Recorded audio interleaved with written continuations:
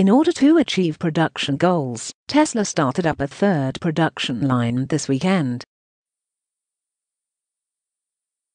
The two existing lines must take up quite a lot of space inside the former GM slash Toyota facility, as the third line was built not in the factory, but in a temporary tent structure outside.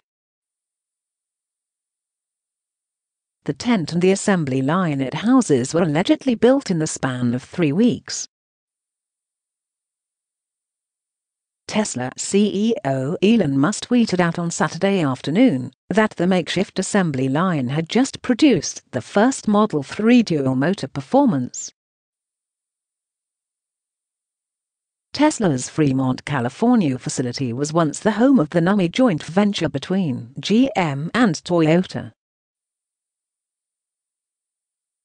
From 1984 until the plant was shuttered in 2010, an average of 6,000 vehicles rolled off of the assembly line every week.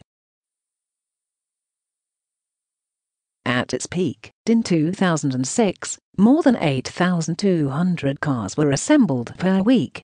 Tesla, owner of the factory since Toyota left in 2010, has thus far struggled to reach production targets of 5,000 units per week.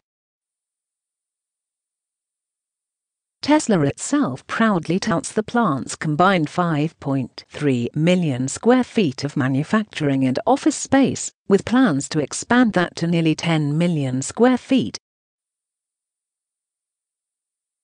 When you add in the 4.9 million square feet of operational space that Tesla claims for the Sparks Nevada Gigafactory, they already have nearly as much factory space as Ford's famously large River Rouge plant.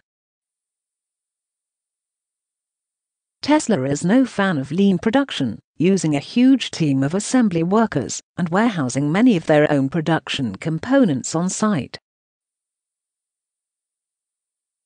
Allegedly, the factory also houses an indoor test track.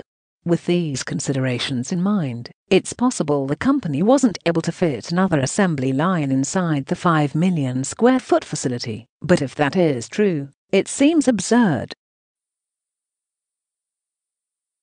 To everyone who ordered a new Tesla Model 3, there's every chance it will be built in this temporary structure that was probably designed to house an Oktoberfest beer hall.